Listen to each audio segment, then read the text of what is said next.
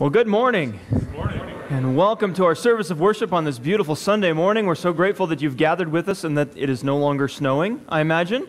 At the end of May, we're grateful to be uh, gathered and worshiping our God together. And uh, while we begin, we just have a few announcements. If you're sitting near the center aisle, you may be sitting on or near a clipboard.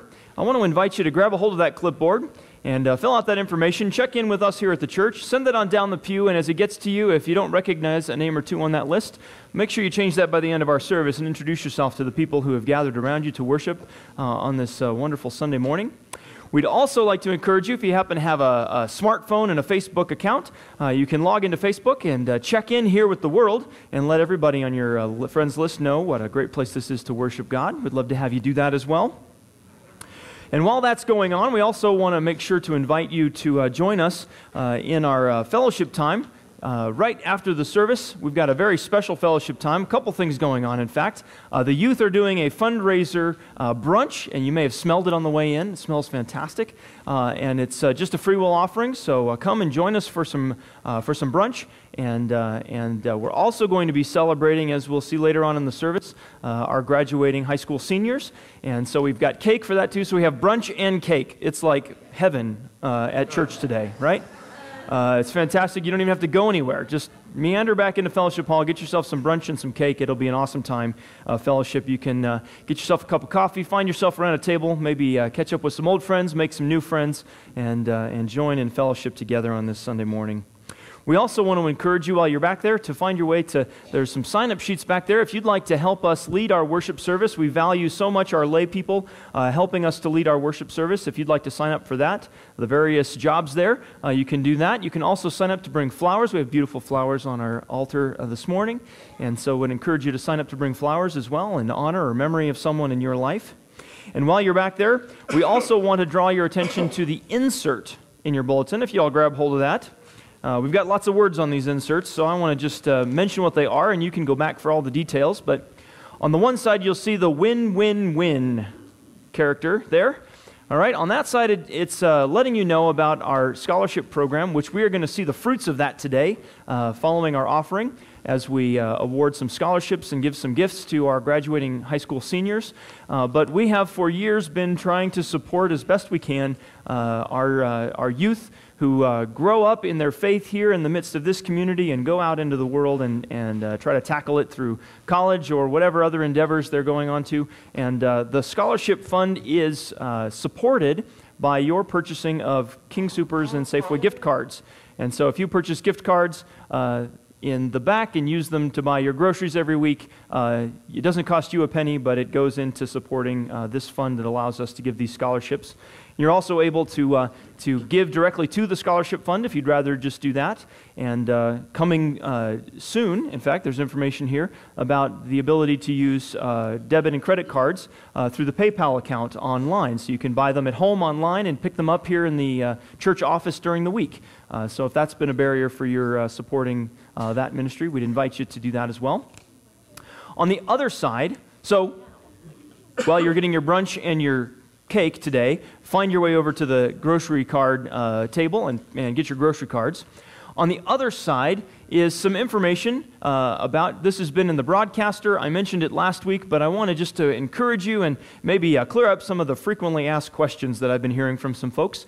Uh, I am endeavoring to learn more about each and every one of you. And uh, to do that, we actually have to sit down and talk. I know, it's kind of scary. Uh, there won't be a microphone, I promise. But, uh, but uh, I would like to schedule a time to meet with each and every family in our congregation to get to know you even better as we, uh, as we are uh, fast approaching year number, the start of year number eight together in ministry, which is hard to believe. Uh, we, want, we don't want to be uh, tricked into thinking we know each other when we actually don't know that much. And so I want to dig deeper and, and uh, find out more about you. And I hope that you would be interested in finding more out about me because you might be stuck with me for a while. And uh, so there's some frequently asked questions here. Some frequently asked questions, and you can go through those. Uh, and if you happen to have a question that's uh, not on there, uh, please come and find me after the service. Uh, I really do. I don't care if you've been here five minutes or 50 years, I want to meet with you. And uh, I would love to get to know you and your family. Uh, so take a look at those questions. And if you have any further questions, come and find me after the service. But what I really want you to do is find the sign up sheet in the back. Uh, it's going to be on the podium as you go back into Fellowship Hall. Uh, and uh, just sign up for a week. If you know you're going to be in town a certain week, just sign up for that week, and I'll be in touch with you uh, to set up a specific time to get together uh, that we can uh, get to know more about each other and, and uh, hopefully discover new ways God can be in ministry through us as we move forward together. So please, please find your way into that as well.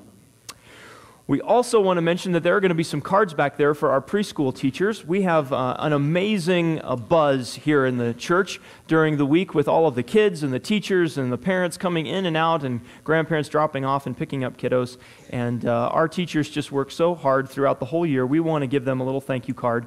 And so uh, there will be cards back there uh, in the fellowship hall. Find them, give them a little sign, let them know how much we appreciate all that they do to nurture the faith of the young uh, kiddos who come in uh, through our preschool uh, programs. So find those while you're back there.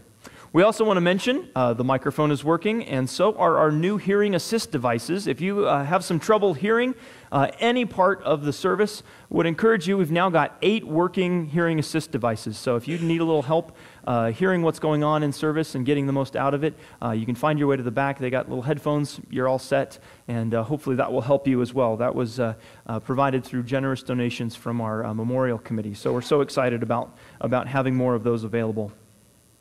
We also want to mention, as we talk about those, that we are still uh, uh, looking for somebody to take over our uh, audiovisual uh, department here at the church to help with the audiovisual during the service, uh, turning on microphones and setting that sort of thing up. And if you are, or you know of somebody who is in, inclined in that way, we have uh, an awesome teacher who's willing to help them know what's going on and all the quirks and gremlins that live in our system. And so if you'd like to suggest someone, please find, where's Sue? Sue, right up here, Sue Slaughter. Or Carrie, is Carrie here today? I don't think so. So uh, find Sue. She's our co-chair for uh, staff parish relations, and, and they are uh, spearheading our search. So if you, if you have someone in mind, uh, drop a line to Sue and let her know about that. Now, we are always growing as disciples of Jesus Christ. Amen? Amen. And I want to challenge you, if you haven't already found your way into a class or a Bible study or a prayer group, that you do that and do it quickly. And we've got opportunities for you today for you to be a part of that if you'd like. Uh, the Seekers class continues their, uh, their walk through uh, the Prayer Warriors uh, text. My group is taking a look at what does it mean to be a member of a church? When we say we pledge our support through our prayers, presence, gift, service, and witness, what does it actually mean to support the church with those things? And so we'll be diving into prayer today. If you want to talk about uh, what it takes to pray for your church, what that means for you, come and join us in the library after uh, brunch and cake and, uh, and do that. We also have Bible studies and prayer groups that meet throughout the week, and the Gospel Bible Study will be wrapping up our study of the fourth and final Gospel uh, uh, this coming uh, Tuesday at 9 o'clock. So jump in with that if you want to get to know some folks. That group is growing all the time, and we just love to have more people digging into God's Word. So if you want to come and join us for that, 9 o'clock on Tuesday morning, and we'll be uh, diving into a new area starting in June. So it'd be a great time to jump into that group as well. And of course, we have Vacation Bible School coming up uh, in just a little more than a month, if you can believe that. Uh, a little more than a month, we're going to be packed to the gills with kids and having fun here at Vacation Bible School.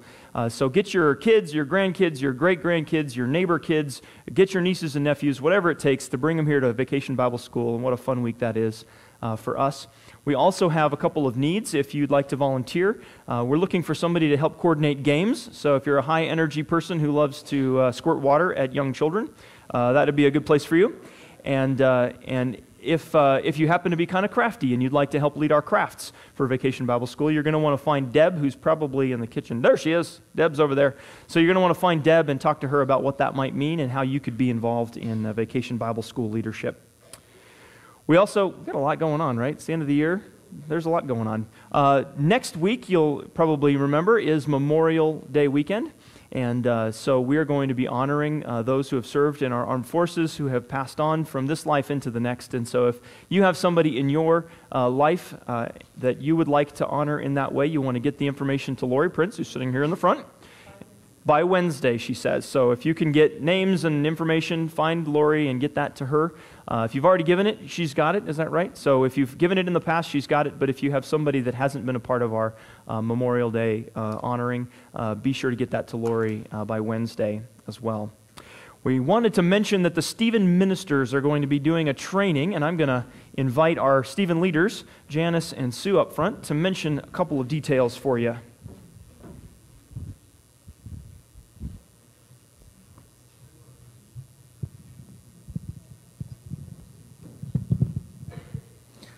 Good morning. Good morning. We uh, really have a neat program, I think, going in our church. It's an international, non denominational program called Stephen Ministry, for any of you who don't know.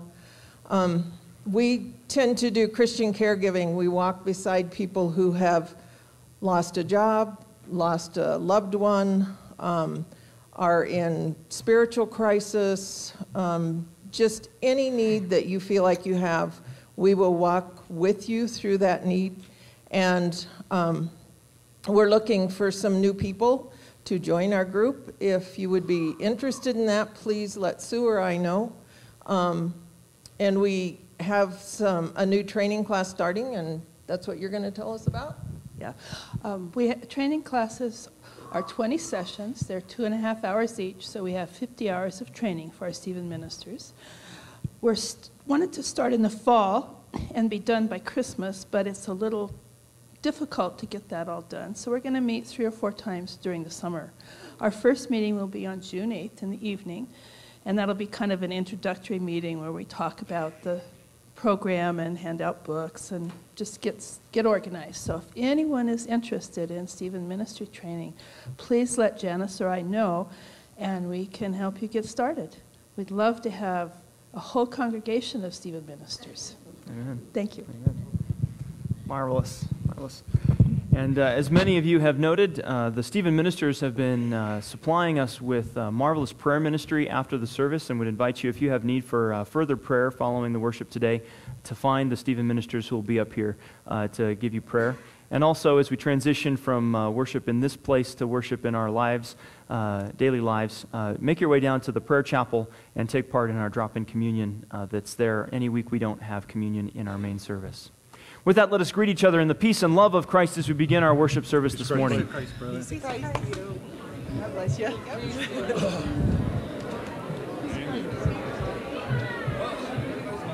Christ.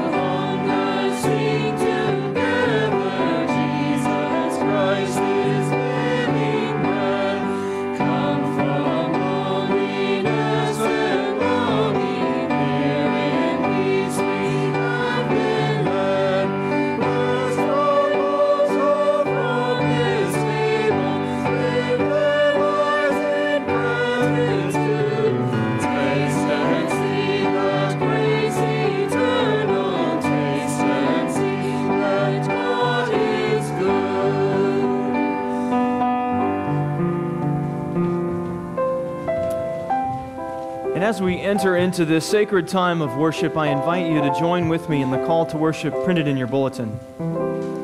The grace of our Lord Jesus Christ be with you.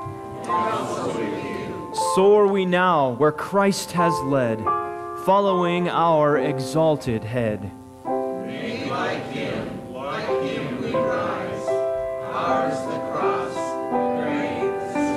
Let us pray. Holy and gracious God, we come before you today that we might celebrate milestone, that we might join together in fellowship, that we might sing of your praise, that we might give glory and honor to you. But Lord, we come most importantly that we might worship you, that we might set our hearts in their proper place, that we might tune our lives into who you are, that we might truly walk the road that you have set before us. Lord, we ask that you would be with us, guiding us, giving us peace, filling us with your spirit. Come into our hearts and warm them, Lord. Come into our minds and inspire them. Take hold of our lives and transform us to your glory, that we would bring you all honor and glory in all that we do. Lord, we ask these things and we come before you in the powerful and the precious name of Jesus Christ, our Lord and Savior.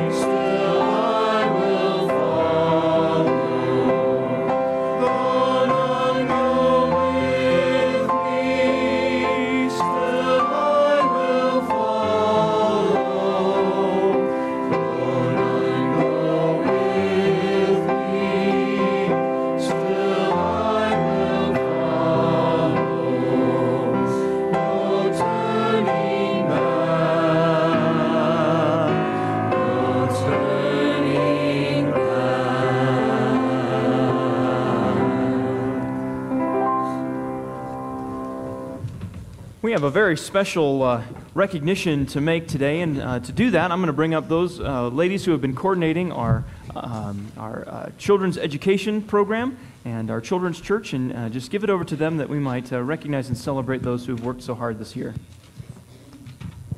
So I would like all of the teachers and the nursery workers and the adult teachers to come on up front, and all of the children to also please come on up front. And while everybody's getting up here, um, I just want to thank everybody that's had um, any part in the Christian education program. It's um, we are always looking for new people, so if you would like to be part of this energetic, exciting crew, you can um, choose to teach maybe once a year or every month, whatever you would like to do. But we have an amazing crew up here.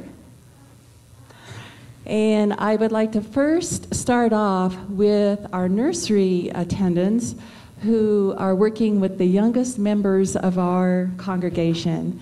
So, Lucy Chavez and Jaira Rodriguez. Um, I wanted to make sure everybody knew who they were because they are with our littlest. And then also to thank Teresa Kaminsky because she definitely helped out um, before we actually had the attendance um, in place. And she's our sub. um, for the children's church, who work with kind of our elementary students, Andre Perkins and Desiree Sweetdollar could not make it today. But Sue Slaughter, we have Kent and Michelle Kaiser. And the kids are getting lost. Tana and James Hicks. Vicki Geis and Val Fraley, Patty Overcash, and we have Mike Ovard, and Kristen Leopold.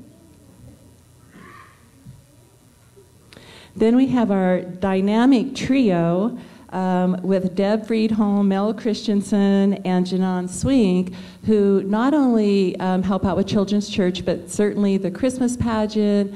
They um, are coordinating Sunday school. Uh, they help with VBS. So they're like just dynamic all over the place.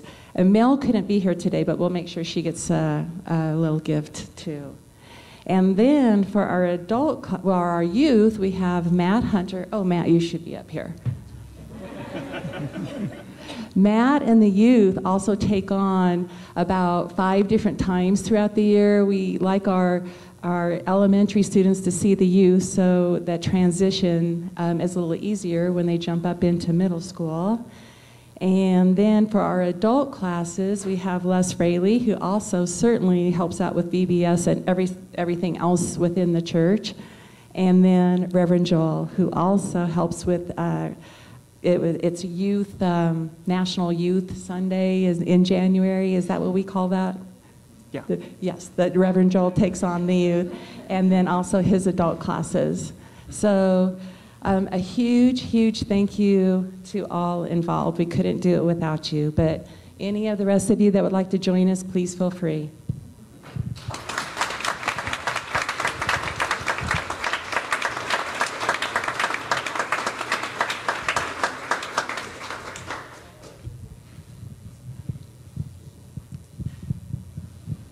And I'd like to do a special recognition as well. Uh, over this past year, um, we've been able to do a lot of great things. We've done a lot of uh, fun stuff as well. Um, and uh, a lot of that was possible uh, because of the wonderful help from Deb Friedholm. Deb, we got you. Wow, Could, couldn't have done it without her, for sure.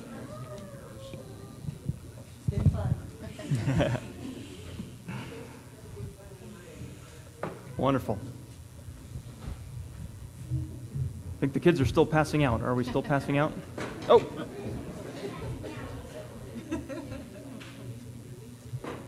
All right. Well, thank you to all of our teachers, and uh, hopefully they are an inspiration to you all to get involved in helping uh, people grow in their faith together. Now we're going to have the kids join me down front for just a moment.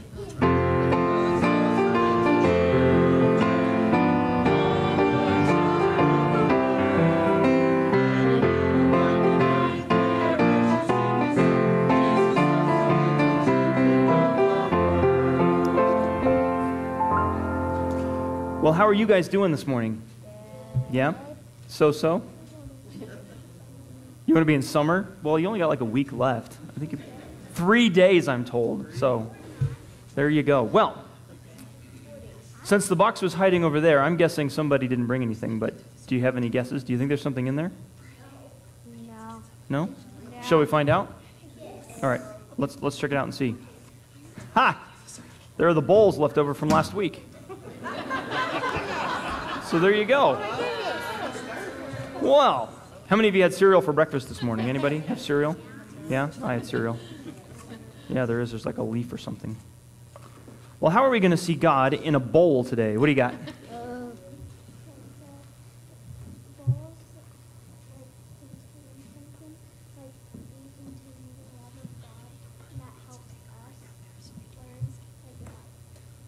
So uh, let me get this right. So uh, bowls contain things just like we contain God's love. Very good. I love that. That's awesome. What else? How else could we see God in our in our bowls today?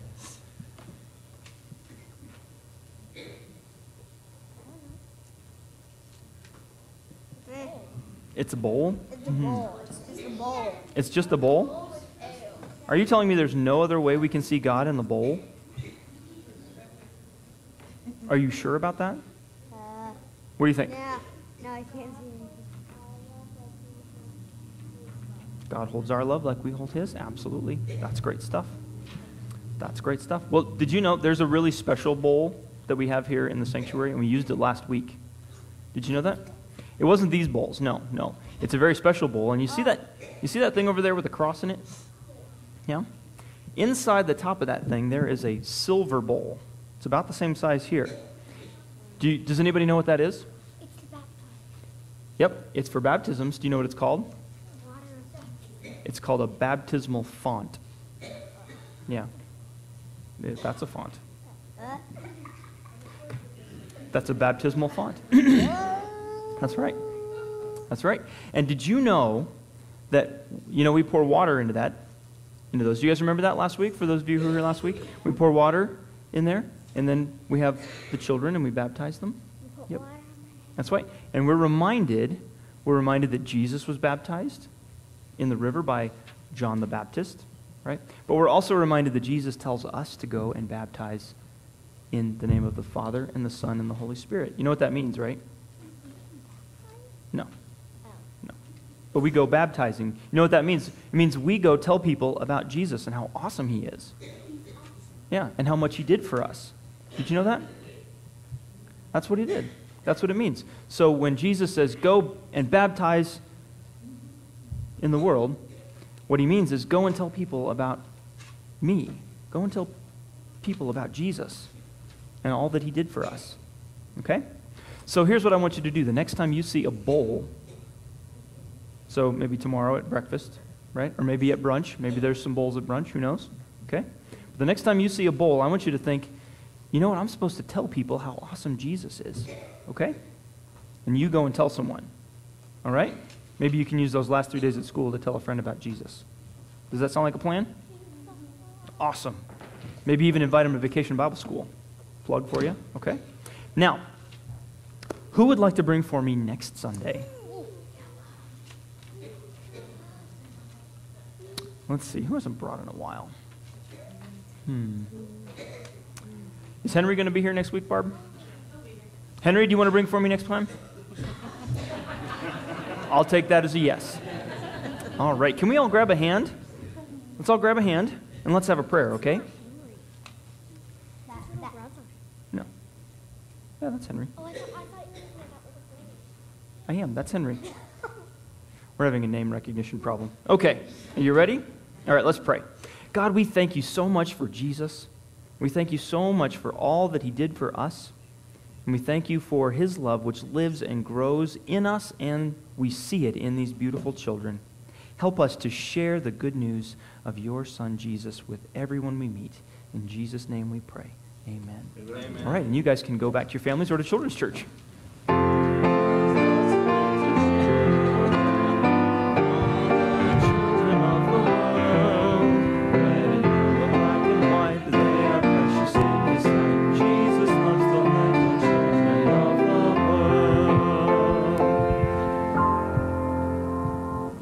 To share our joys and concerns. Do we have any joys?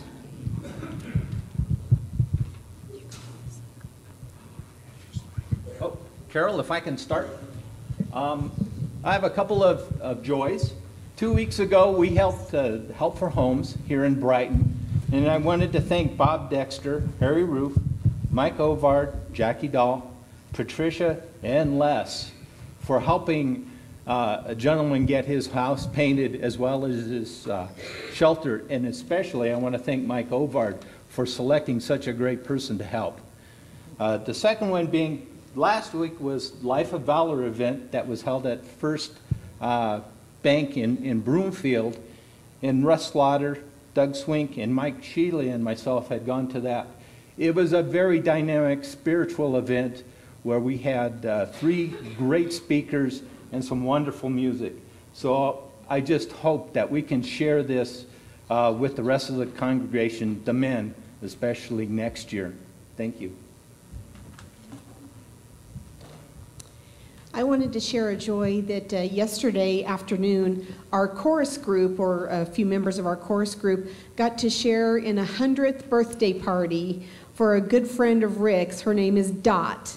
And she had four birthday parties throughout the week. So I think that, I think that was deserving of 100, 100 years old. And she had so much fun, and the love that we felt uh, from her friends and family that were there was absolutely wonderful, and it was an honor to be a part of that celebration. And of course, everybody in that community loves Rick anyway. But um, so um, yeah, so it was it was really special to be part of that. I'm Glenda Sheely, and uh, I found out this morning that the Boy Scouts are going to have a parking lot sale out here in our parking lot on June 3rd from 8 to noon. And um, if you want to donate, you should bring it that morning. Or if you want to buy, just come on by. Thanks. I'm Ben Hancock, and I just have a joy of uh, Patsy had surgery and a plate and screws put in her wrist, and she seems to be doing pretty well. She's here with us today, and not only that, uh, last Sunday I told you we may be having a great grandchild. Well, it was he was born while church was going on last Sunday, so that's number. it's a 12th great grandchild.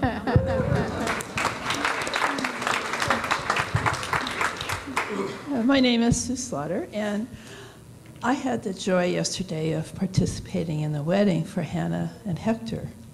And it was a lovely ceremony. They had a lot of friends and family here.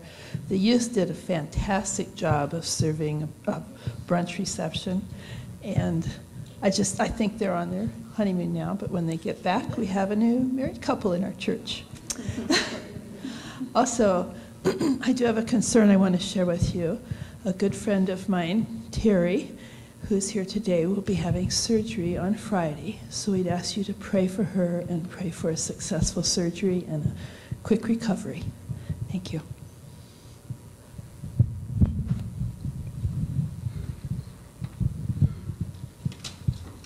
My joy this morning is that I met some friends who were here in my in our church last year, and uh, we got acquainted again this morning. And we'd like to have you stand.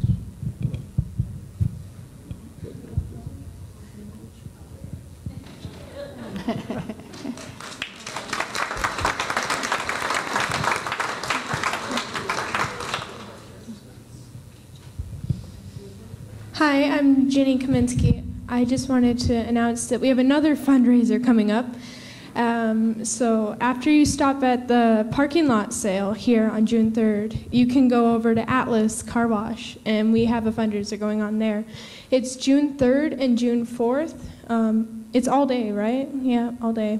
And they're handing out coupons there for $3 off any wash. So just stop by if you need a new car wash. Good morning. My name is Dwayne Cornell. I'd like to share a concern. Uh, yesterday, our son informed us that uh, him and uh, two members of the unit attended a funeral service for a 22 year old Marine who took his life. He served in the 4th ID Infantry Quebec Battery, and uh, I do not know all the information of the name, but I think I'd like our church to raise his parents up in prayer, as well as the fallen Marine and those of his unit that he served with. Thank you. My name is Vic Morris, and I've got two uh, announcements. One is I want to congratulate the seniors that are graduating. Keep God in your heart, in your church, in your mind all, at all times. The second thing is that next weekend, on the 28th of May, Shirley and I will be celebrating 50th anniversary.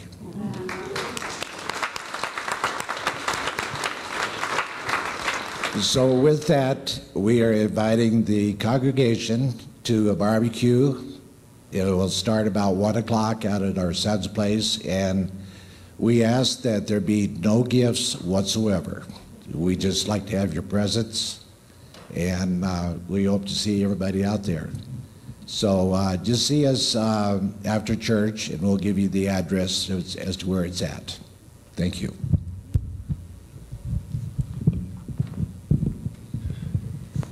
Hello, I'm Martha Bradfield, and I'd like to say that my granddaughter had a bicycle accident. She'll get out of the hospital.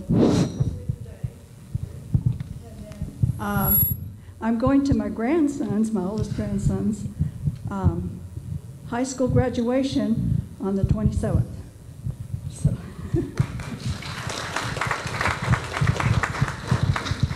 My name is Leonard McCain, and uh, Chama and I, uh, partners here in this pew, were debating how long we were Christ- uh, Methodists.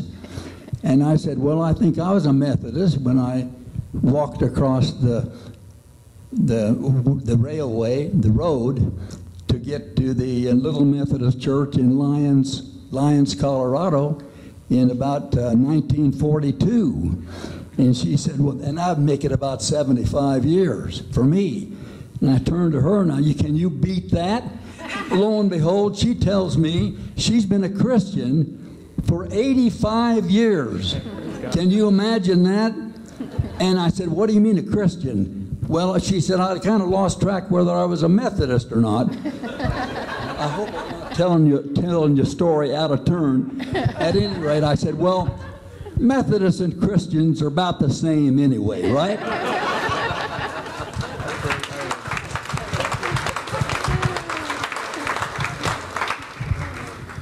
Hi, guys. My name is John Sharp, and uh, just wanted to let everyone know while I was in Houston a few weeks ago, I proposed to Jill, and despite her better judgment, she said yes. So, I'd like to thank everyone.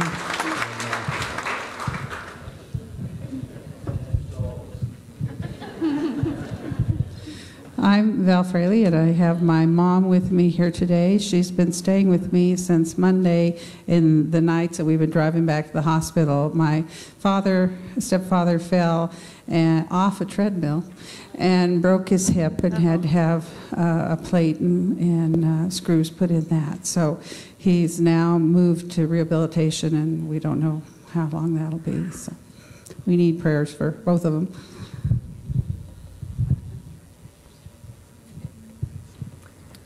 Any others? I would just lift up that uh, I had uh, the privilege of not only uh, officiating and celebrating in Hannah and Hector's wedding yesterday, I've also done uh, a baptism last Sunday and a funeral uh, to celebrate a, a life uh, this week, and it just reminded me of all of the ups and downs, the joys and the concerns, but the awesomeness of what it is to be in ministry and what it is to be in ministry here. So I just wanted to thank all of you and uh, to let you know what a great privilege it is to be in, in such a dynamic and exciting place to be ministry.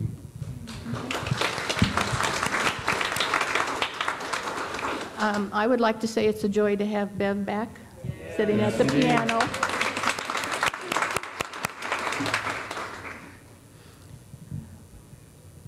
Okay, shall we be in attitude of prayer?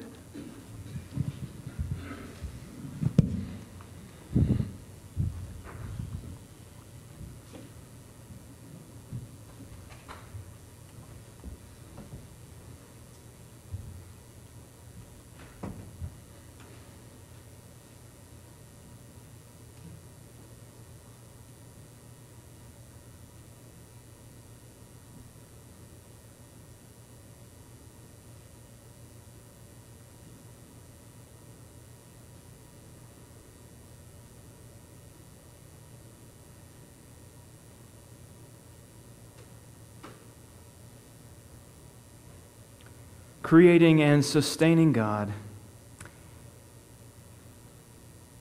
we find ourselves today coming before you in the powerful and precious name of Jesus Christ, our Lord and Savior. And we celebrate with you, Lord, so much, so much that is happening, so much life and joy that is springing forth in the midst of your people this morning, Lord, for all the celebrations of new life, of the longevity of life, of the milestones along the way, Lord. We thank you and give you praise for those.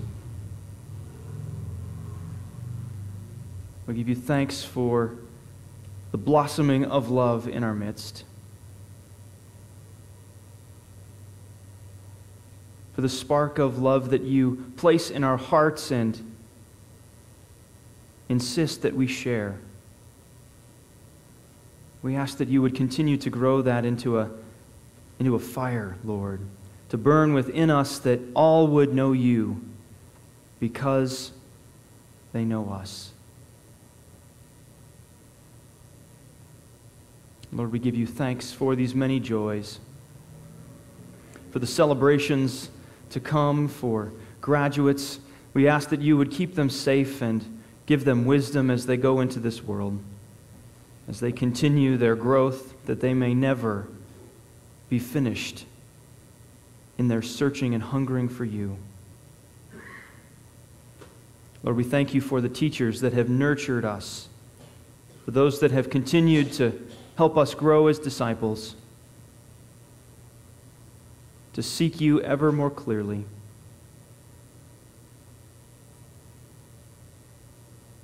And Lord, in the midst of spring blossoming around us and joys abounding, we are also aware that, that there is fear and trepidation. That some have received bad news, that some are facing diagnosis and surgery and healing. And Lord, we pray that you would continue to be a healing and peaceful presence in their lives. That you would pour out your peace that passes all understanding on them. The fires of these trials might only serve to strengthen their faith in you that we might all come to know you, to rely on you, to put our faith and hope in you, Lord. And we pray for health and wholeness, for healing, miraculous, gradual, and instant in the midst of these lives lifted up here. And we lift all of these prayers to you, Lord. We hand them over to you in the powerful and precious name of Jesus Christ, our Lord and Savior. Those that escape our lips and those that live deep within our souls. We're reminded that He taught us how to live and that He shows us how to love. And now we come together in prayer as He taught us to pray. Our Father, who art in heaven, hallowed be thy name. Thy kingdom come, thy will be done, on earth as it is in heaven. Give us this day our daily bread, and forgive us our trespasses, as we forgive those who trespass against us. And lead us not into temptation, but deliver us from evil. For thine is the kingdom, and the power, and the glory forever. Amen. I want to invite us to stand as we are able as we join in uh, the spirited song, Lord, You Have Come to the Lake Shore. It's hymn number 344. Let us join our voices together in song.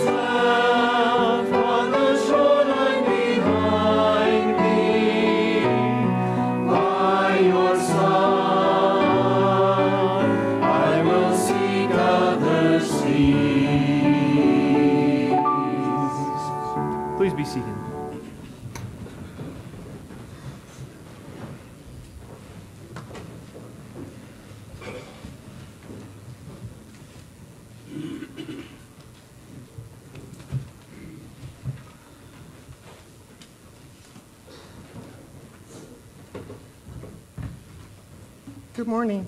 Good morning. Our reading today is from John 21, 1 through 14. After these things, Jesus showed himself again to the disciples by the Sea of Tiberias, and he showed himself in this way. Gathered there together were Simon Peter, Thomas called the twin, Nathanael of Cana in Galilee, the sons of Zebedee, and two others of his disciples. Simon Peter said to them, I am going fishing. And they said to him, We will go with you. They went out and got into the boat, but that night they caught nothing. Just after daybreak, Jesus stood on the beach, but the disciples did not know that it was Jesus. Jesus said to them, Children, have no, have no fish. You have no fish, have you? And they answered him, No. And he said to them, Cast your, the net on the right side of the boat, and you will find some. So they cast it, and now there were, they were not able to haul it in because there were so many of the fish. That disciple whom Jesus loved said to Peter, It is the Lord. When Simon Peter heard that it was the Lord, he put on some clothes, for he was naked, and jumped into the sea. But the other disciples came in the boat dragging the net full of fish, for they were not far off from the land, only about a hundred yards off. When they had gone ashore, they saw the charcoal fire there with fish on it and bread. Jesus said to them, Bring some of the fish that you have just caught. So Simon Peter went aboard and hauled the net ashore full of large fish, 153 of them. And though there were so many, the net was not torn. Jesus said to them, Come and have breakfast. Now none of the disciples dared to ask, Who are you? because they knew it was the Lord. Jesus came and took the bread and gave it to, the, to them, and did the same with the fish. This was now the third time that Jesus appeared to the disciples after he was raised from the dead. The word of God for the people of God. Thanks be to God.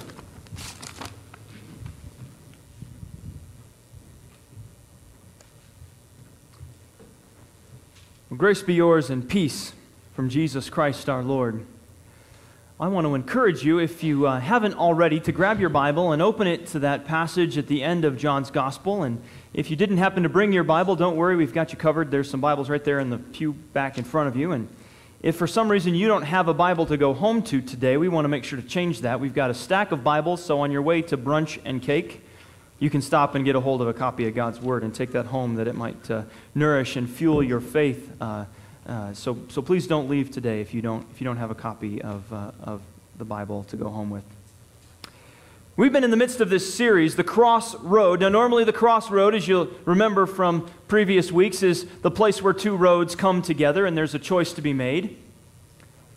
But that's not the crossroad we're talking about in this series. The crossroad we're talking about is the road that we walk in light of the cross. I don't know if you realize this, but Resurrection Sunday is kind of a big deal. Jesus raising from the dead was kind of a big deal, and the question is what do we do as people of the resurrection? What is, how does that change our lives? What impact is that supposed to have on who we are as people of God? Well, we've been going through. First, we we started by relating to truth. The way we relate to truth is we believe it. Jesus says, Blessed are those who have not seen and yet have come to believe. Those who believe in me may have eternal life. It's important for us to remember that we must believe the truth that is there. Then we talked about how fear can distort our joy. It is joyful, it is, it is a, a source, a wellspring of joy this resurrection of Jesus, this crossroad that we walk, yet fear of the unknown, fear of the mystery, fear can distort our joy. And then we walked along the road to Emmaus and we examined how our expectations can blind us to what is right in front of us. When we expect not to find Christ there in front of us, we won't find it. We'll be blinded by our expectations. And then last week we talked about how critical it is that we take off those blinders and we actually encounter Christ in our everyday lives. Well, today, today I want to talk about our tendency to try to manufacture the road. Our human desire that often gets in the way when we try to manufacture the road. I want to begin by asking what's in a list. You ever have one of these moments where you're reading along in Scripture and there's a detail or something that seems like it might be a little more than you need to know? Anybody? Anybody have that moment? Where you're just reading along and you're like, geez, there's a list of these disciples here at the beginning of our reading today. After these things, Jesus showed himself again to the disciples at the Sea of Tiberias. Uh, for those of you who, who uh, don't have a study Bible in front of you, Tiberias is just another name for the Sea of Galilee. So they're at the Sea of Galilee. Uh, the scene where, where Jesus had called many of his disciples from a life of fishing to a life of following, and then a life of being sent. So they're at the shore of the Sea of Tiberias, and he showed himself in this way. And here's, here's, what, here, here's what I mean by a list. Gathered there together were Simon Peter, Thomas the twin, Nathanael of Cana in Galilee, and the sons of Zebedee, who have the coolest nickname. Have you ever you ever realize that the sons of Zebedee, they're called the sons of thunder? Doesn't that sound like a pro wrestler name? I just love that. The, the sons of thunder, okay? Play on the offensive line. So the, the two others, uh, these two other disciples who you don't get names, we're sorry for them, right? They're just along for the ride. But you ever wonder why there's a list of disciples there? You ever wonder, like, okay, so he could have just said Peter and some of the disciples were hanging out at the Sea of Galilee. Why, why the list? Why the list? Well, it's important for us to note who these people were. Who these people were. Check this out. So, Simon Peter, okay? Simon Peter was a fisherman. Okay? Now, Thomas the twin and Nathanael of Canaan, we don't really know what they did, but they were called around the same area, and they're hanging out with a bunch of fishermen, and they go fishing in this scene. So, some have speculated that maybe they were fishermen too. We don't know for sure. But then we get to the sons of Zebedee. That's James and John. And James and John were not only fishermen, they, they owned a fishing business with their father. And they were working with Peter when they were all called. So we're talking about some commercial fishermen here. Okay? Three of them at least. And then there's these two other disciples that are unnamed. So there are seven disciples in this group. At least three of them were professional fishermen. At least three of them, probably more, were professional fishermen. So when Peter says, I'm going fishing, I don't know about you, but sometimes I just pictured that, you know, a piece of straw on his thing, you know, uh, rod over his shoulder, heading out to the Sea of Galilee. You know, that was my picture of fishing when I was a kid, right? That's all I knew. And I was terrible at it, by the way. I've shared that before, okay? Terrible. Still am terrible at fishing. Sorry, guys. Don't understand it, but it's okay. But when Peter says, I'm going fishing, he's not saying, I'm going fishing like you or I would go, you know, kill an afternoon by the lake. Or maybe spend a day in the stream. When Peter says, I'm going fishing, he's not messing around. He's talking about getting in a boat and going out in the Sea of Galilee and dropping down the nets that he spent years working as a professional fisherman. And we know this, obviously, as we get later into the story, as they're casting their nets. On the other side, Peter's not talking about hauling in one or two fish for a little fish fry. He's going back to his life before Jesus called him as a disciple. And the others, he says, I'm going fishing. And the other six say, We will go with you. Let's go fishing right? This isn't a band of friends going out to kill an afternoon. This is, these are professional fishermen returning to their life. Now, this is after the resurrection, people. Jesus has appeared to them. It says at the beginning, this is the third time Jesus appears to them on the shore of the Sea of Galilee. But they have returned to be fishing. They're not just casting a line to kill time, fishing with these nets they were commercial fishermen going back to their former profession. They're going back to what they knew before they met and got to know Jesus. They weren't sure quite what to do. Jesus was gone. They were following him around. That seemed like an easy plan, right? Jesus says, Come and follow me. Okay, I'm, where's Jesus? I can see him. I'm going to follow him. There, there he is. Okay, he's doing some weird stuff, but that's okay. I'm, I'm with him. Okay? He's saying some weird things, but I'm still here with him. Oh, they, they arrested him in the garden. I don't know if I'm quite with him anymore. And then they crucify him, and now they're really scratching their heads, and, but they're pretty sure that life is supposed to be different, and yet they're not sure how it is, and then he shows up to them. He is brought back to life. He is resurrected from the dead, the firstborn from the dead, and he appears to them, and well, you or I would be pretty confused by that, wouldn't we? We wouldn't be completely certain about what to do. We're still digesting what that is. And what do we do? What do we do as human beings naturally when we're not sure what to do? We go back to what we know. We go back to what we know. And that's what these disciples were doing. They weren't sure quite what to do. They probably wondered if they could even do what they were called to do. So they went back to what they do best. They go back to fishing. Rather than confidence in Christ, following where He leads them, they tried to manufacture their own road by doing what was comfortable. They tried to go their own way and not Jesus' way. They went back to what was comfortable. Now, how many of us, after I paint that picture, how many of us would have to admit that that's been our story from time to time? How many of us would have to admit that maybe we had that moment where Christ took hold of our lives and we were so convicted and yet we weren't sure what to do, and so we just kind of went back to life as usual? We kind of went back to what was going on because you see, so much of our everyday lives don't naturally bring us back to that moment when we started to follow Jesus. Maybe they thought, well, we'll just get the band back together. We'll go back to what we were doing when Jesus came along, and maybe something else will happen. Maybe that's what they were doing. We're not sure. We just know they went back to what they knew. Do you go back to what you know? What about Monday morning? When you go back to that desk or that job or that counter or that computer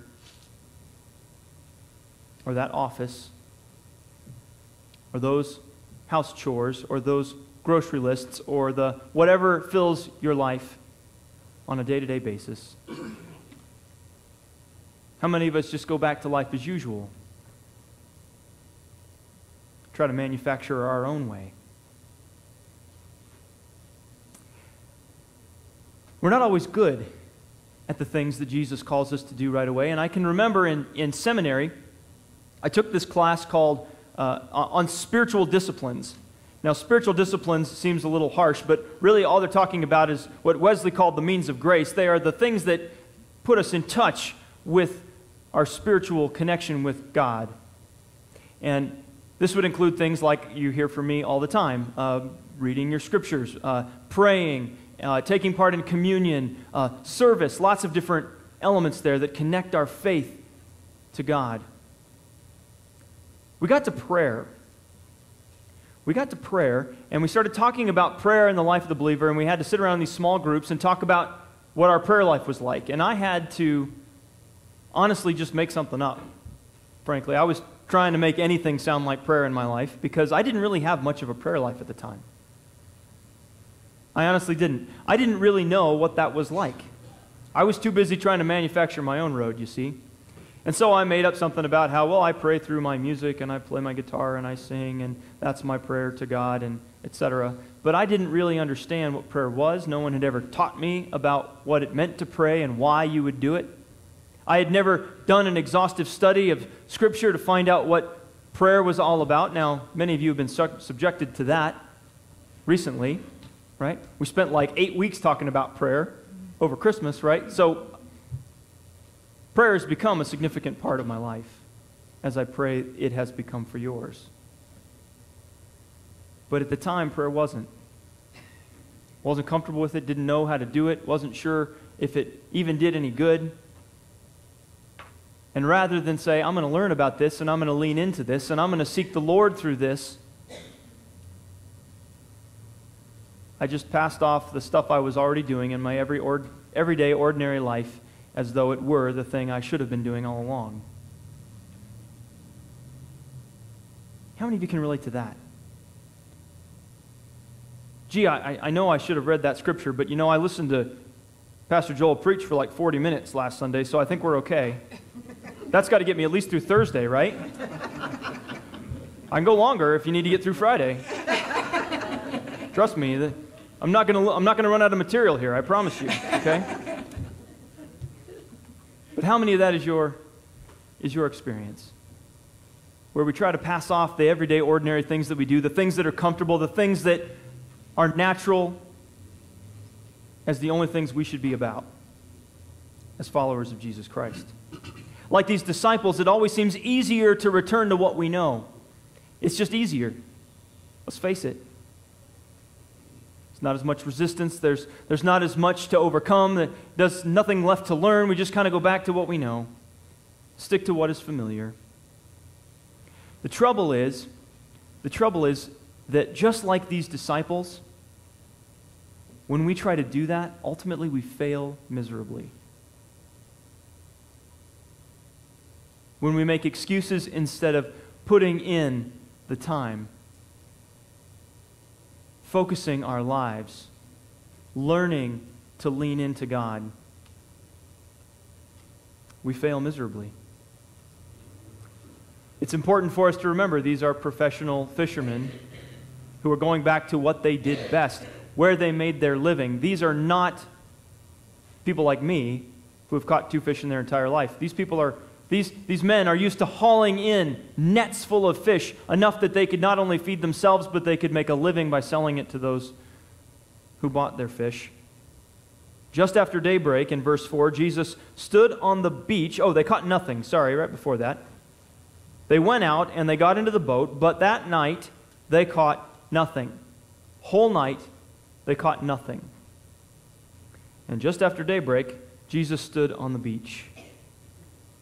I mean, these, imagine if you went in to do your job and you completely failed at it. Can you imagine what, that, what that's like?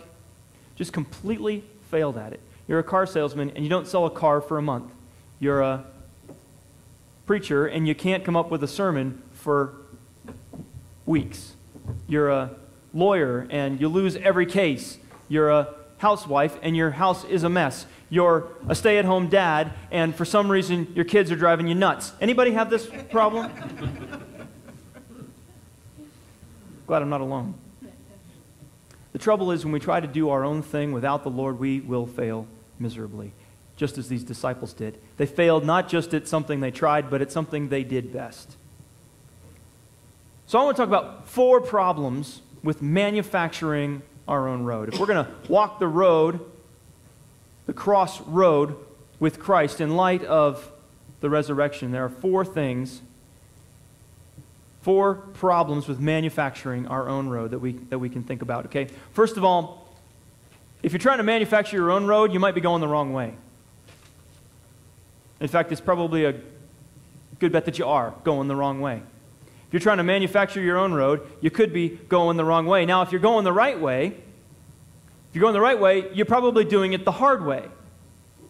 You follow me?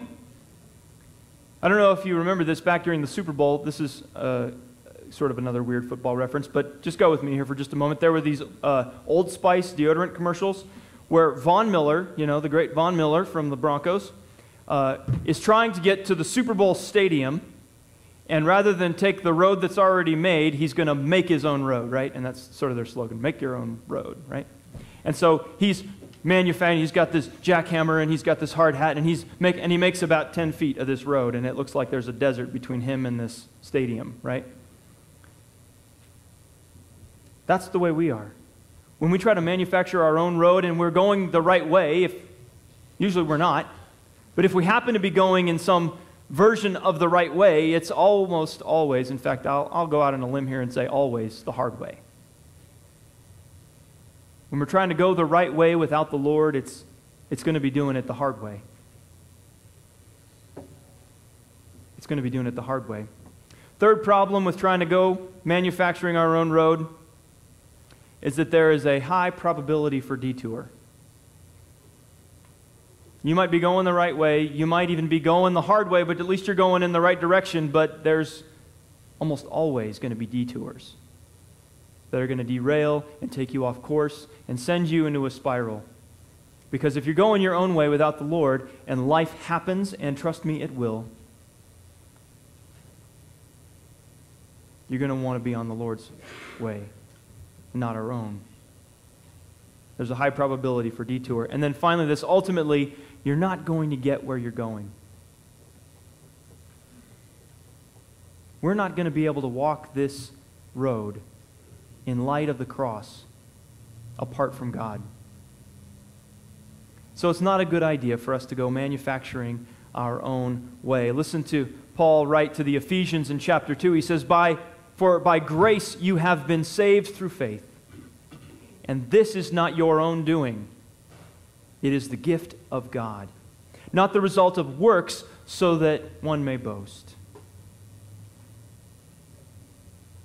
It is by grace that we walk this road through faith. It's not by our own doing, it's by following Christ. These disciples were trying to make their own way. We'll go and make disciples of Jesus Christ and spread the good news throughout the world, and we're going to go back to our old homes doing our old job. And that's not a good plan. So Jesus comes along to remind them that that's not a good plan and to get them back on track. And so we're going to take a look here now at four things, four things about doing it Jesus' way. All in favor of doing it Jesus' way? Amen? Amen. All right, four, way, four things to learn from this text about how to do it Jesus' way. How to do it Jesus' way. The first thing is the same work is unimaginably more fruitful when you do it Jesus' way. The same work is unimaginably more fruitful when you do it Jesus' way. Check out the text. Starting in verse 4, just after daybreak. Remember, they've been at it all night and they haven't caught a thing. Not just haven't caught much, haven't caught anything. Okay? The text says, that night they caught nothing. Miserable failure. Their own plan sucked. It was really awful. But after daybreak, Jesus stood on the beach, but the disciples did not know that it was Jesus. And he says to them, Children, you have no fish, have you? Notice that's not a do you have any fish? That's a you have no fish, have you? You have no fish, have you? That's, that's sort of the I told you what to do, and now you're not doing it, and you're wondering why it's not going well. Right? You have no fish, have you? Jesus knows the answer to that question. That's clear and just in the way it asks. You ever ask your, child your children that question before? You've been up to something, haven't you? There's no question they've been up to something. It's just a matter of whether they'll admit it, right? How many of us will stand on the boat and, no, we're doing fine, Jesus? Anybody in that, in that camp? That's a bad plan, too, right? Okay, so all in favor of not doing that? They say no. At least they're honest, right? And he says to them, Cast the net on the right side of the boat, and you will find some. How many of you know that's exactly what they've been doing? This isn't a matter of you're teetering on this weird vortex where fish are on this side and not on that side, and you happen to be fishing out of the left side of your boat, foolish fisherman. So cast your net off the right side of the boat. But they're back to following Jesus, you see. That casting the net on the right side of the boat is back to following Jesus. It's back on Jesus' plan, and so the same work, the exact same work, is immeasurably more fruitful. As we read later, 156 fish, bre- almost breaking the net, but not. 53, 153. Okay, sorry.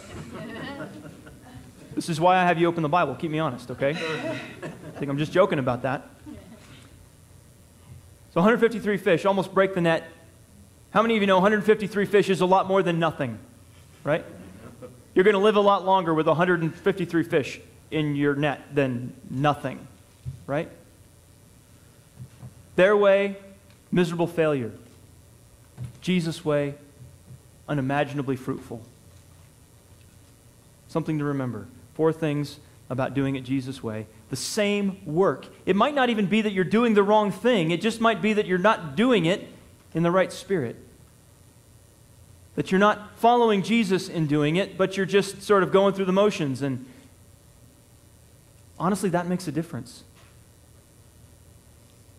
It makes a difference. If you're going to work and you're doing the same work, but you're doing it under your own power,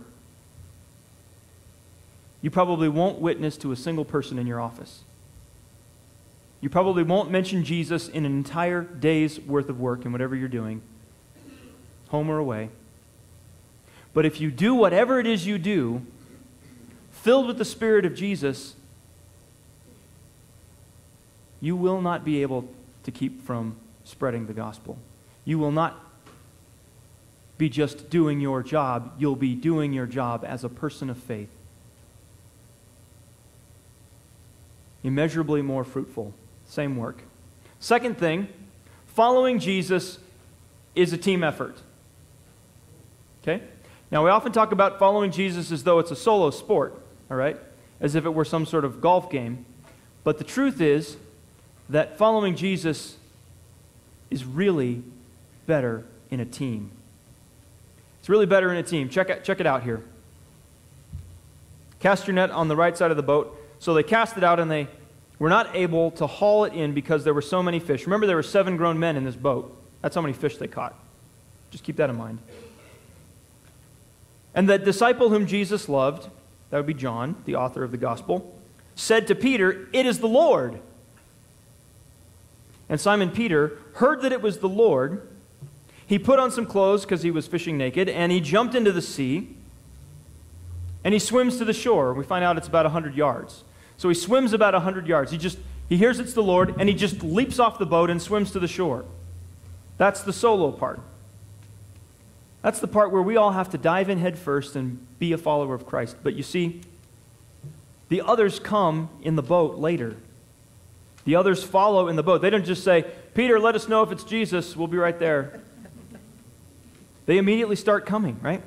Simon Peter jumps in and swims, but the other disciples came in the boat, dragging the net full of fish, for they were not too far off from land, only about a 100 yards off.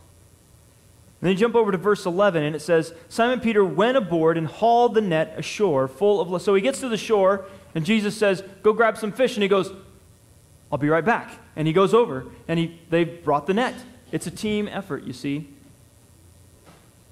They all get to the same place. They might not get there at the same time, but they're going to work together. This following Jesus, doing it Jesus' way, is always better as a team. That's why we have church. That's why this is so important. That's why when I say we're always growing as disciples of Jesus Christ, I immediately invite you to join a group. I immediately invite you to participate in a Bible study or come to prayer group or come to a Sunday school class because this is not a solo thing. On your own, you will get lost. But together, we can find our way the way of the cross. It's not a team effort, or it is a team effort. So, first of all, it's more fruitful, same work, more fruitful with Jesus. Secondly, following Jesus is a team effort. Here's the third thing following Jesus is not necessarily easier. Okay? This is really important for us to get, okay? Because there are some folks who will promise you that following Jesus, your life will be fine. How many of you know Jesus says that it, it'll be better, it just won't be easier? He says, Take up your cross and follow me. He says, Those will persecute you, those in power will persecute you in my name for the gospel that I'm sending you to preach. How many of you know that it's going to be better, it just might not be easier? The difference is when we're in the midst of the not easier, we have God on our side. We have the light of Christ in our lives, showing us the way, and what would be hard without Christ is manageable with not just manageable, but we can celebrate and praise God through the hardest times in our life when we live that life with Christ. And look at verse 11. So Simon Peter went aboard and hauled the net full of large fish, 153 of them. There were so many that the net, but the net was not torn. Doesn't mean that it's going to be easier. It just means you're going to be on the right path. Following Jesus does not necessarily mean your life is going to be easier. And then there's this. And this is really important for us to understand. I mean, really important. If you get nothing else out of today's sermon, this is what I want you to understand. Okay? You got your pencil sharpened? You ready to go? Here we go. Look at verse 9. We skipped a couple verses there. When they had gone ashore, they saw a charcoal fire there with fish on it and bread. Jesus already had breakfast for them. He doesn't need any of the 153 fish they just caught listening to him. There's already breakfast cooking on the fire, ready to go. But listen to what Jesus says Bring some of the fish that you have just caught. And that's when Simon Peter jumps into the water and hauls in the net. So here's what I want you to get. This is so important. Are you ready? Jesus doesn't need your work. Jesus doesn't need your work, but he desires your contribution. Do you understand the difference there? Jesus doesn't need your work. No matter what you're good at, no matter what you do, no matter what you have to contribute, Jesus doesn't need it. How many of you know the God of the universe doesn't need anything from you or me? How many of you know the kingdom of heaven will come, is coming, not because of you and me, but because of God? Jesus doesn't need you or me and our work, but he desires our contribution. You see that? He doesn't need any of the fish they just caught through their casting the nets, according to his instruction. He doesn't need any of that. He's already got breakfast cooking. He's got it covered. But yet he still says, Go and bring some of the fish that you just caught. Do you see the difference there? This is, this is hard for us to wrap our mind around because we think we're working for God. We think we're, we're contributing, we're doing our part. And that's important. But it's important for us to realize that it's our contribution is a fruit of our faithfulness. We aren't bringing about faith in ourselves. Remember, we are saved by faith. We are saved by faith. So it's not that God needs us to work, God wants us. And isn't that so much better? Isn't that so much better when we can say, God doesn't need me to go to church today, but God wants me to be there that we might get closer to Him? God doesn't need me out on the streets feeding somebody who is homeless or giving something, some shelter to someone who has nothing or helping somebody discover new life in Christ. God doesn't need me to make those things happen, but God wants my contribution. God wants you and I to give what we have in service to Him.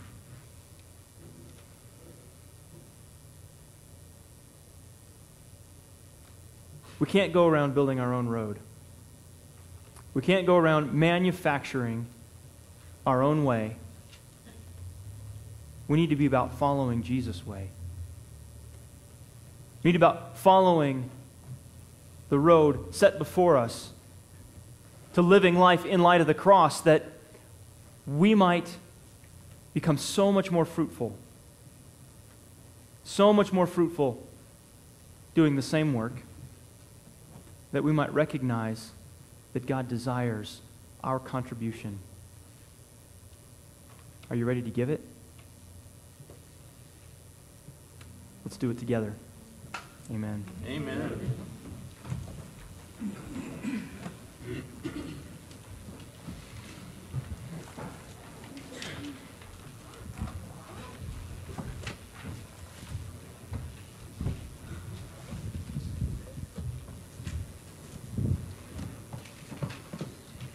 Being comfortable, making it easier, not so threatening, no chance of rejection.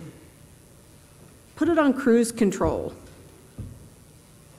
Not sure that's really what Christ wants out of us, right?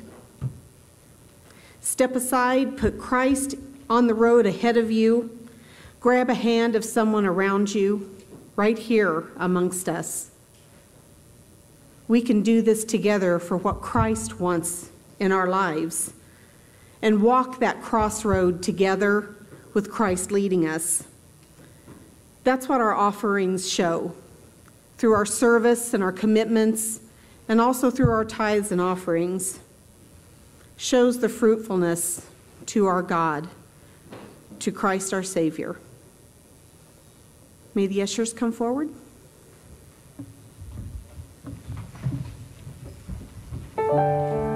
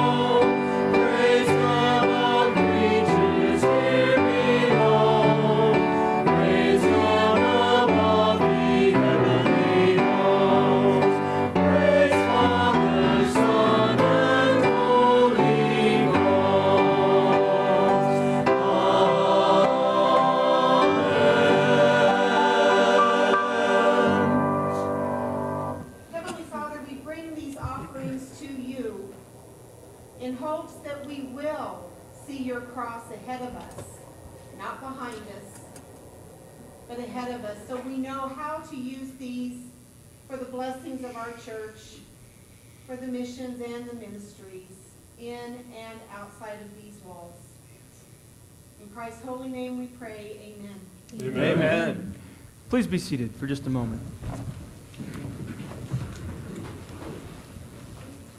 I'm going to invite uh, the chairperson of our scholarship committee, Barb Wittern, to come and, uh, and uh, uh, introduce to you. Uh, we have three uh, seniors, high school seniors, who will be graduating, who have been a part of our congregation. And the scholarship committee is, has met to decide how we will attempt to bless them in the next part of their life. And so we'll turn it over to Barb, uh, we'll uh, recognize these seniors. When I say the senior's name, would they please come forward along with their parents? Then Reagan Burr, Skylar Ellis, and Wesley Swink.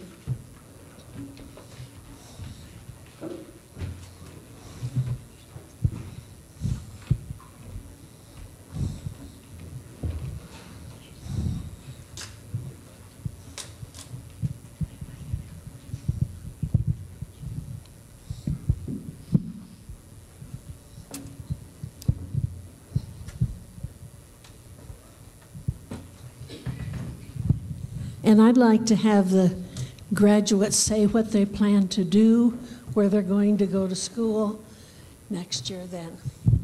Hi, I'm Skylar, and I'm planning on going to CSU for their psychology degree, and they're probably do something in music, most likely. So. Hi, I'm Wes, and I'm going to Larry, uh, Larry, Laramie County Community College in Wyoming, um, and I'm going for like wildlife studies. Um, I'm Reagan, and I'm going to the University of Nebraska at Lincoln, and I'm going to study accounting. Very good.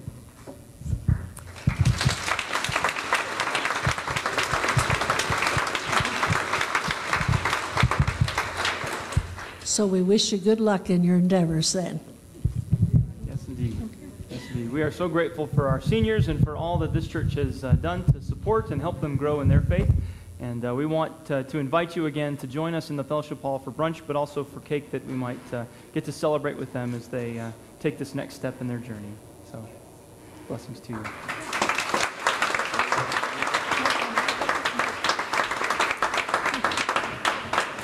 And as a reminder, we will begin to transition uh, here from worship in this place to the worship of our everyday living. And uh, through that, we want to invite you, if you have need for more prayer uh, following the service, to come and uh, take advantage of the prayer ministry up here at the front of the sanctuary.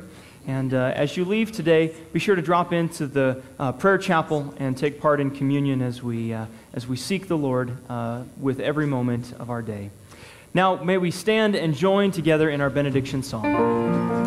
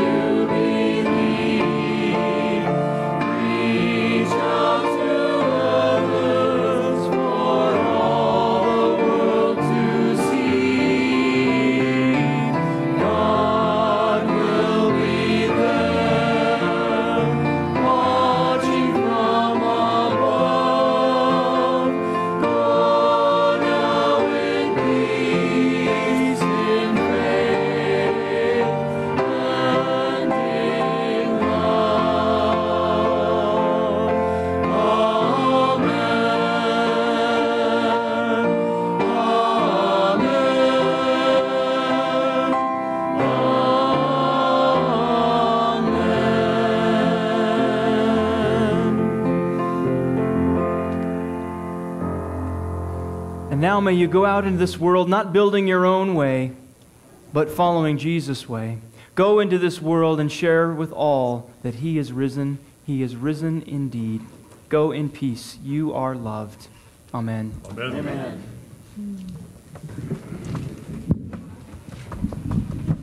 Light of the world, you step down into darkness.